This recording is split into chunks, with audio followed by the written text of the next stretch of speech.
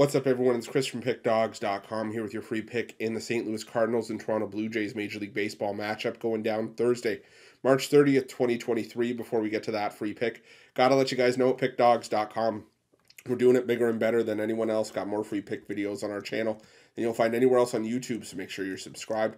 Also, take advantage of our free sportsbook bonus offer. The link in the description of this video below. And I do love giving out free picks if you're looking for my best bets, the games I love the most, including my daily $15 best bet. Check out pickdawgz.com and click the premium picks tab at the top of the page.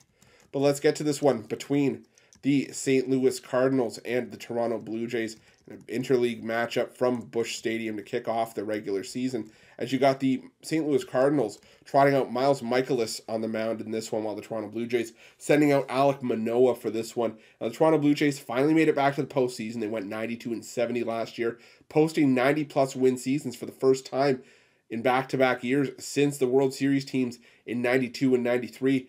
But the Jays were quickly cast aside by Seattle in the wild card round. They were end, they ended their season with a sweep. Now, it was a fair bit of turnover for Toronto in the offseason. They lost the likes of Ross Stripling, Raimel Tapia, Bradley Zimmer, and Jackie Bradley Jr. to free agency, but Jays were quick to reinforce the starting rotation. They brought in Chris Bassitt. They added some veteran leadership with winning pedigree. They signed Brandon Belt and Kevin Kiermaier to one year deals. Now, a lot of the same suspects return in the batting order for the Jays.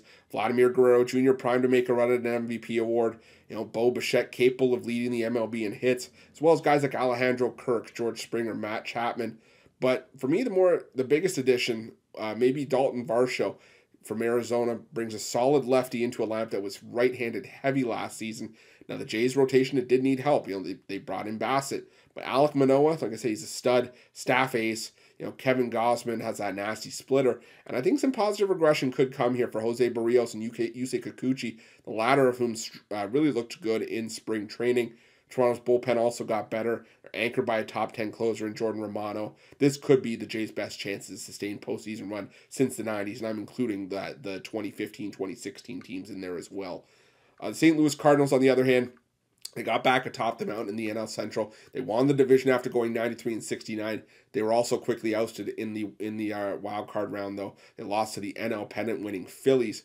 Now the the uh, the Cardinals they do bring back reigning MVP Paul Goldschmidt. He finished with 35 homers, 115 RBIs, 317 batting average last season, and the core pretty much intact from top to bottom. Nolan Arenado, Tommy Edman, Tyler O'Neill all back, but with the uh, you know the arrival of Brendan Donovan, Lars Nootbaar last season, and top prospect Jordan Walker coming. Uh, it makes 2023 an even more interesting watch for the Cardinal faithful. Nolan Gorman also had a decent rookie season, had an impressive spring training, so we'll have to see he's going to be a name to look out for as well. If there were a weakness for this Cardinals team, it's the starting pitching. Adam Wainwright, he's not getting any younger at 41. Miles Mikolas, solid mid-level arm, but in my opinion, he's, a, he's not a pitcher capable of leading a rotation. And while Jordan Montgomery had a solid stint for the Cards, he really started to regress in spots last season. Jack Flaherty, Steven Matz also had seasons to forget last year, so it'll be interesting to see how this unit takes hold in 2023.